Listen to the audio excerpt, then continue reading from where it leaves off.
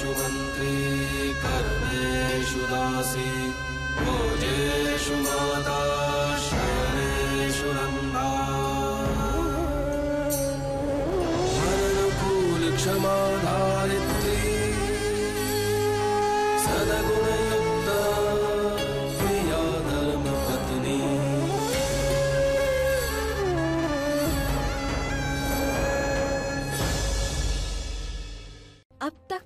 देखा, हितेन माधो सोलंकी की जगह पर काम पर आता है और धर्मराज को तराशे हुए हीरे देता है। धर्मराज खुश हैं कि हितेन अपनी ज़िम्मेदारी निभा रहा है।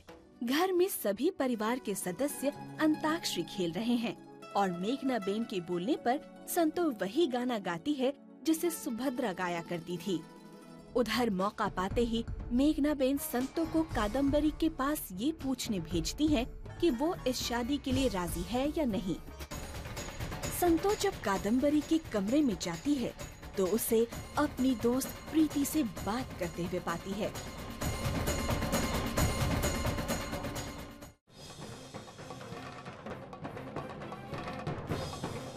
यहाँ क्या करियो तुम? वो आप ये? मैं वो प्ले की लाइंस कर रही थी। प्ले समझती हो तुम? नाटक। हाँ प्रीति। यहाँ तक की लाइंस ठीक है ना? मैं तुम्हें फ़ोन करती हूँ ओके चलो बाय खड़ी क्या हो? कोई तकलीफ़ है तुम्हें? तो फिर जाओ ना।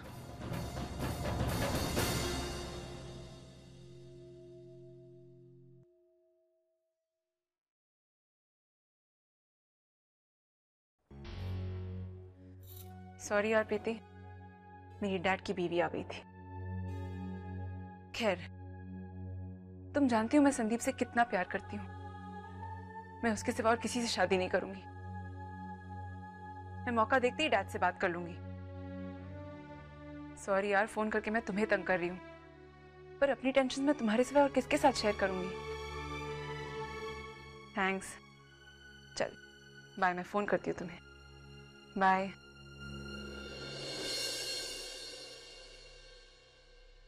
ले खा ले। तुझे याद है पटेल के यहाँ एक किलो रोज खाता था ये मात्रा सब कुछ बदल गया सब कुछ बदल गया। लेकिन एक चीज़ नहीं बदली वो है तेरा सुर। तू आज भी उतना ही बेसुरा गाता जितना कॉलेज के दिनों में गाता था यार। तभी तो सुभद्रा जीतती थी।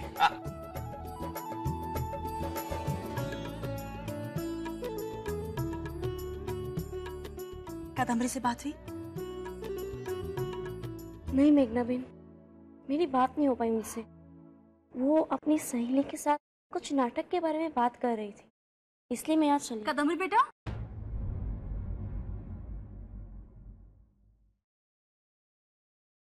कौन सा नाटक कर रही हो तुम? कौन सा नाटक? अरे वही नाटक जिसकी रिहर्सल तुम फ़ोन पे कर रही थी। सालों बीत के नाटक देखे हुए। हम तुम्हारा नाटक देखने ज़रूर आएँगे। नाम क्या है उसका? जी अभी तक नाटक का नाम तो फाइनल हुआ नहीं। हमारे कॉलेज फ्रेंड्स ने ही लिखा है ना? पर जैसे ही फाइनल हो जाएगा मैं आपको ज़रूर बता दूँगी। एक मिनट मुझे ज़रा तरुफई से बात करनी है। मैं जाऊँ? चली जा।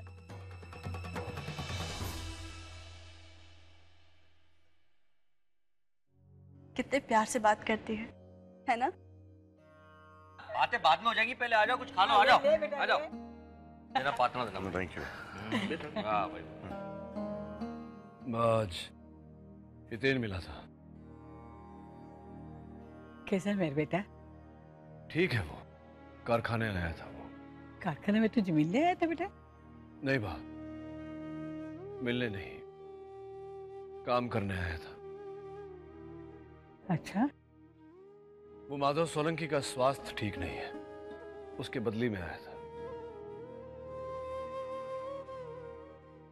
और मुझे खुशी है कि नितिन अपनी जिम्मेवारी निभा रहा है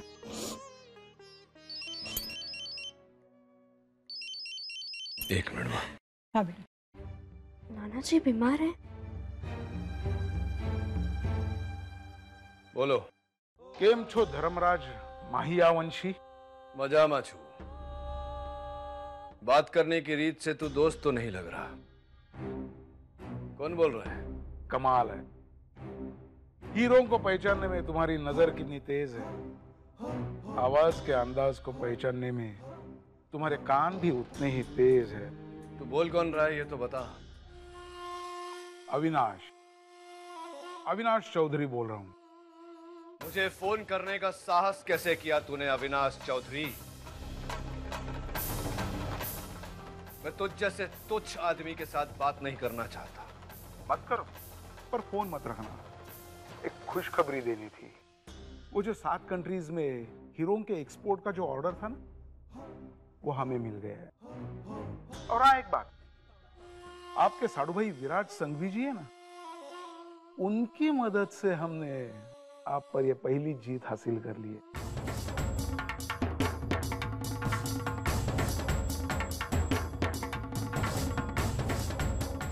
पार्टी का इनविटेशन भेज दूँगा।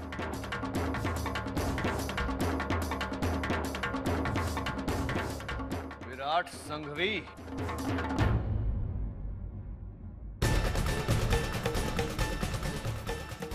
धंधे में तेरा मेरा बैर बहुत पुराना है। पर फिर भी मैं तेरा मान रखता था क्योंकि तूने हमेशा हमेशा सामने से वार किया बड़ा पीठ पीछे वार किया तूने विराट। बिज़नेस है साड़ू भाई, क्या आगे, क्या पीछे? लक्ष्य सिर्फ़ जीत ही होना चाहिए। और वैसे आपने भी तो मेरा ढाई सौ करोड़ का माल चला दिया था वो क्या था? ये वार तूने केवल मुझ पर नहीं विराट।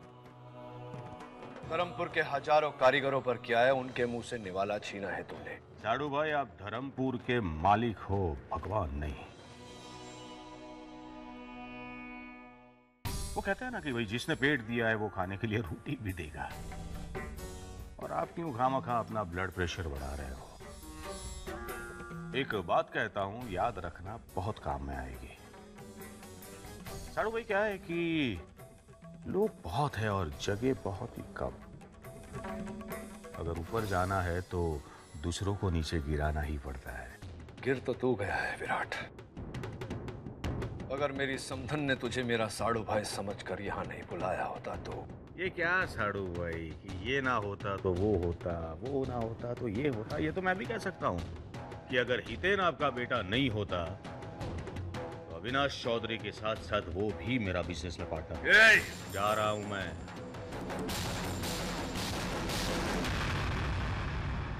अपने शब्द ज़्यादा खर्च मत कीजिए। धर्मपुर के वर्कर्स को तसल्ली देने में काम आएँगे। रजा लो सासू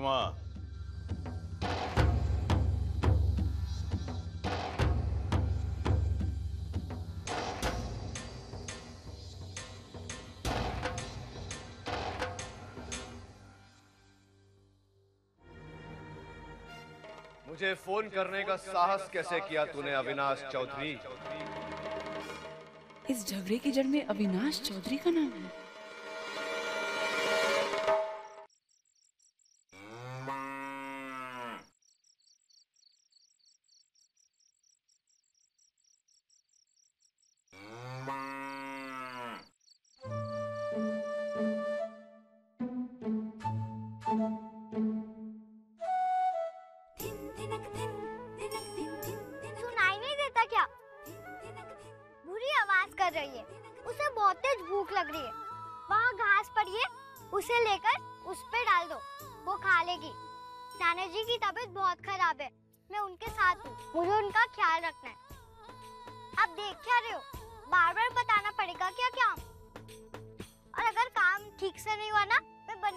कह दूँगी। उन्होंने मेरे साथ होली खेली तुमने उनके साथ। जानता हूँ।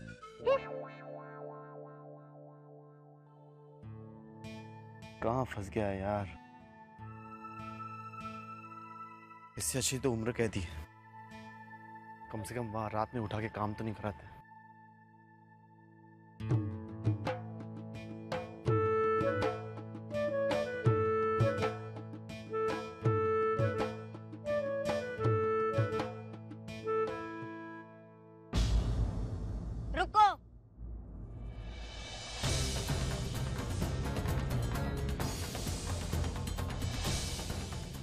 मेरी मावड़ी के गले में रस्सी बांधी, तब जरा भी दया नहीं आई। और अब उसके बछड़ी को घास खिलाने का दिखावा कर रहे हो? खबरदार, अगर मेरी भूरी को हाथ भी लगाया तो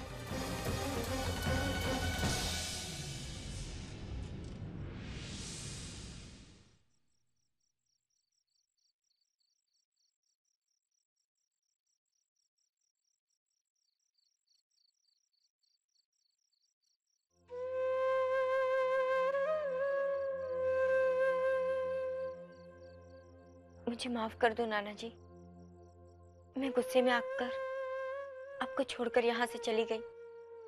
पर मैं क्या करूँ? मन में बहुत गुस्सा था मावड़ी को लेकर। संतू ने चंपाकली से फ़ोन करवाया था। आपकी बीमारी के बारे में बताया। मैं आ गई हूँ ना आपका ध्यान रखने के लिए। सब बीमारी चली जाएगी। भूरी को घास खिलाई। वही रुको। इस घर में एक कदम भी मत रखना।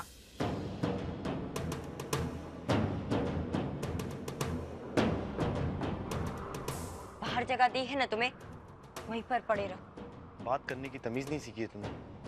ओहो तो तुम हमें तमीज सिखाओगे? उल्टा चोर कोतवाल को डांटे गुनेगार तुम हो हमारी मावड़ी के। गौ माता के साथ कैसे बर्ताव करते खुद को तो पता नहीं और हमें तमीज सिखाओगे? मैंने कहा ना, इस कमरे में कदम मत रखना। मुझे कोई शौक भी नहीं अंदर आने। ये, तुम्हारे नाना जी की दवाई मेरे पास रह गई थी। वही दिन आया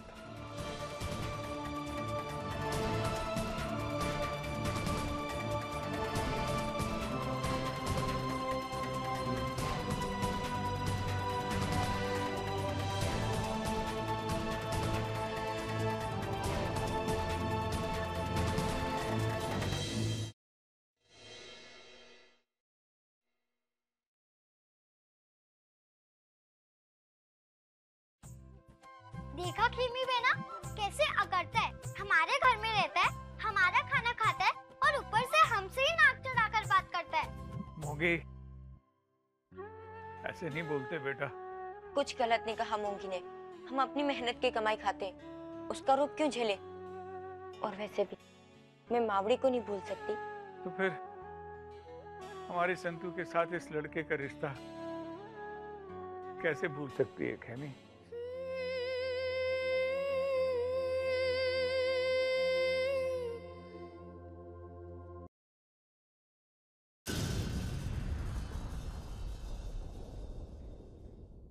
भाभी।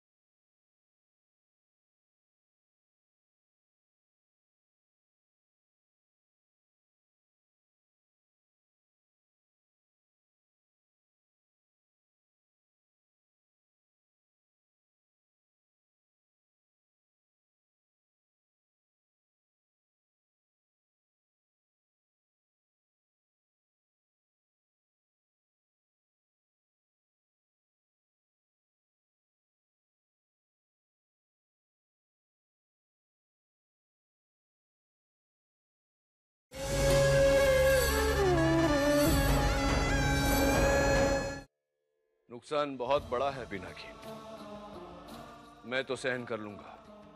पर तू ध्यान रख जाए कि इसका प्रभाव कारखाने के किसी कारीगर पर ना पड़े। महियावंशी डायमंड वर्क्स के लिए हर कारीगर ने अपना जीवन दिया है। और सबके जीवन की जिम्मेवारी हमारा दायित्व तो है। समझी क्यों ने चल, जय श्री कृष्ण।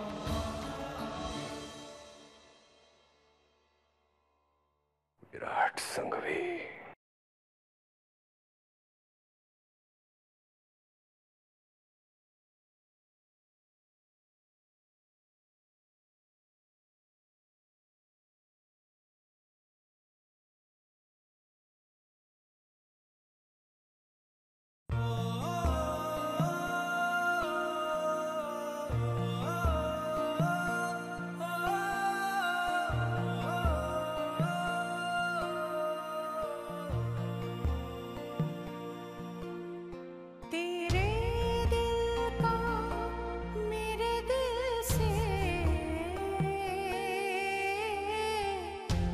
रिश्ता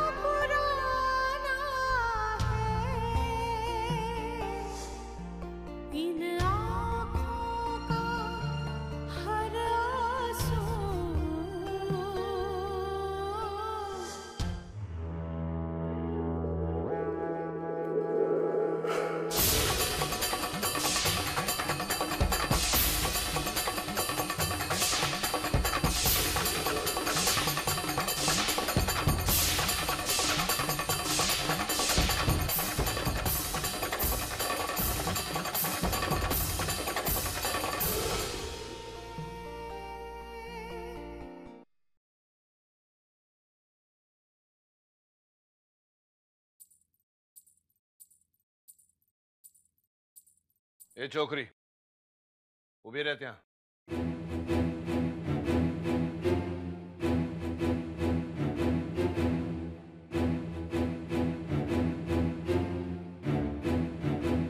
पहले तूने अलमारी से सुभद्रा के कपड़े निकाले, फिर उसके खाने के स्थान पर बैठी, और अब अंताक्षरी में उसका गाया हुआ गाना गाया। मालिक, रोज रात को इस कमरे में मैं वही गाना सुनती थी। तो उस वक्त मुझे वही गाना याद आया। इसलिए मैंने इस कमरे में तुझे क्यों रखा गया है? इस घर में क्या हो रहा है क्यों हो रहा है ये तो अच्छी तरह जानती है। जाने अनजाने में भी। सुभद्रा का स्थान लेने का प्रयत्न किया ना तो मैं सहन नहीं करूँगा। पर मालिक मैंने ऐसा कभी नहीं चाहा। कि बस कोई सफ़ाई नहीं सुननी मुझे। और एक बात बार बार बोलने की आदत नहीं है मुझे। चल अब अपना सामान उठा અને જા અહીંયાથી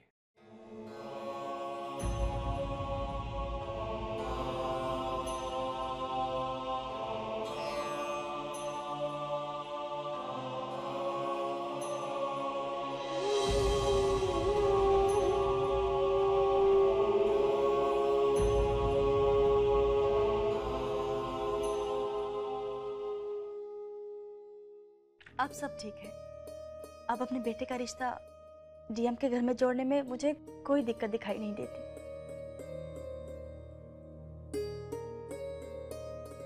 अच्छा तो पहले क्या दिक्कत थी? ये शादी तो हमने बहुत पहले तय कर दी थी जब बच्चे छोटे थे। हाँ रसी लेकिन तब से लेके आज तक बहुत बदलाव आ गए हैं। सुभद्रा के चले जाने के बाद बस मुझे यही चिंता सता रही थी कि कि कादम्बरी कैसी होगी? लेकिन अब मैं बहुत खुश हूँ। मैंने कादम्बरी को देख लिया उसके संस्कारों को देख लिया। जी हमने कोई कमी नहीं छोड़ी इसके परवरिश में। मेघना तुम इन सब बातों का बड़ा ख्याल रखती हो। जब तक कादम्बरी मेरी सहेली की बेटी थी तब सब चलता था। लेकिन जब एक लड़की घर की बहू बनने जा रही हो तो इन सब बातों का ध्यान रखना पड़ता है रसिक। और फिर जब जब डीएम ने दूसरी शादी की तो मन में एक चिंता सी मगर अब मगर? मगर अब सब ठीक है। संतो भाभी बहुत अच्छी है। घर वालों ने भी उन्हें अपना लिया है। अब मैं बहुत खुश हूँ। चलो। अच्छा हुआ। ये सुनकर कि तुम्हें कोई चिंता नहीं है? तुम्हें चैन मिल गया है? आज रात मैं भी चैन की नींद सोऊँगा। और कल सुबह ही मैं डीएम से सगाई की बात भी कर लूँगा। हम्म? वक्त बहुत हो गया अभी। नींद आ रही है मुझे। आ, तुम सोचो मैं मंदिर में जोत देकर आती हूँ। आज आठम है। ना अरे हाँ हाँ जाओ जाओ। Okay good night good night जल्दी आ जाना।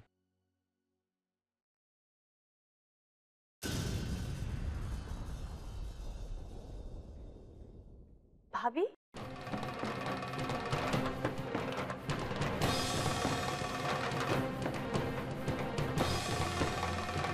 तुम यहाँ? तुम्हें तो अपने रूम में होना चाहिए था जी वो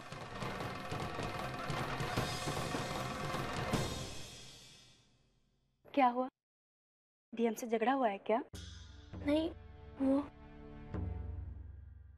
भाभी पति और पत्नी में ऐसी छोटी मोटी बातें होती रहती हैं लेकिन इसका मतलब ये तो नहीं कि तुम इस तरह मंदिर में जैसा आप सोच रही है वैसा कुछ नहीं है वो आज अष्टम है ना तो अखंड ज्योति रात पर रखना ज़रूरी था।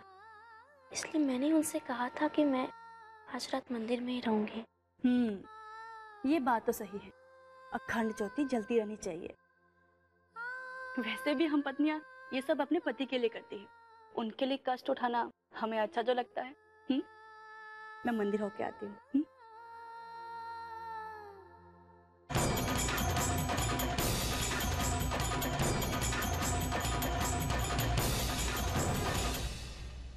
चाहते तो हम भी नहीं, लेकिन क्या करें? सहन करना पड़ रहा है। मेघना और रसिक को दिखाने के लिए। कादम्बरी के भविष्य का सवाल है। क्या तू चाहता है नानका कि उस संतुड़ी के कारण इस रिश्ते में बाधा है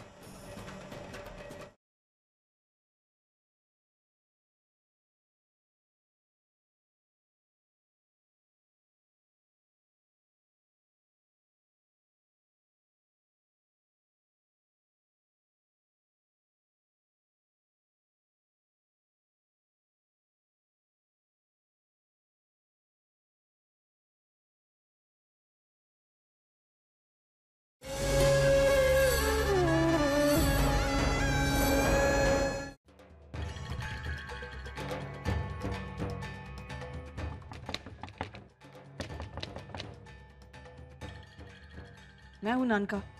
दरवाज़ा खोलो। ये तू क्या कर रहा है नानका?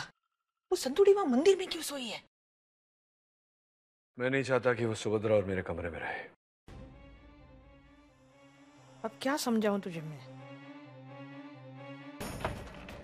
मेरी बात सांभल नानका। चाहते तो हम भी नहीं लेकिन क्या करें? सहन करना पड़ रहा है। मेघना और रसिक को दिखाने के लिए। कादम्बरी के भविष्य का सवाल है। क्या तू चाहता है नानका कि उस संतुड़ी के कारण इस रिश्ते में बाधा है अभी मेघना उसके साथ थी वहाँ। तूने उसे यहाँ से निकाला और वो डफोड़ मंदिर में जाके सो गई। बरामदे में सो सकती थी, लेकिन नहीं। तूने ऐसे कैसे किया नानका? अभी तो जैसे तैसे करके उसने बात को संभाल ली है। लेकिन ये रोज रोज नहीं हो सकता, नानका। रोज रोज मेघना को नहीं संभाल सकते हम लोग। बात को समझ, नानका। हितेन और मौलिक इस घर से बाहर जा चुके हैं। अब मैं नहीं चाहती कि कादम्बरी के भविष्य के साथ भी हम लोग खेलें। कादम्बरी का रिश्ता पक्का होने तक हमें बात को संभालना होगा संभल संभल के चलना पड़ेगा। समझ गया मैं। सुभद्रा का स्थान लेने का प्रयत्न कर रही थी वो। सहन नहीं हुआ मुझसे और इस बात पर से ध्यान हट गया मेरा। अपनी भूल का सुधार कर लूँगा मैं। जा तो सोई जा।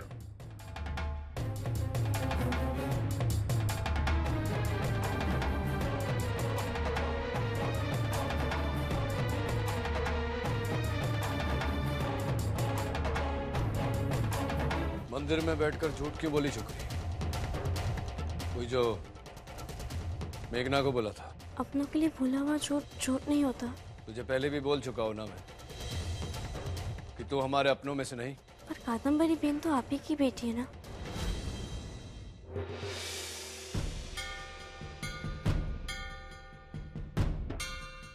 भिनबा आप मुझे यहाँ बहुत चर्बी चढ़ जाती है क्या तुझे उस मेघना के सामने? हम्म? अपनी बहनों को तो कंजक बना के यहाँ लाएगी। पर भिनबा वो मेघना बहन है। चुप बैठ। अरे मेघना तो मेहमान है कुछ भी बोल देगी और तू हाँ कर देगी।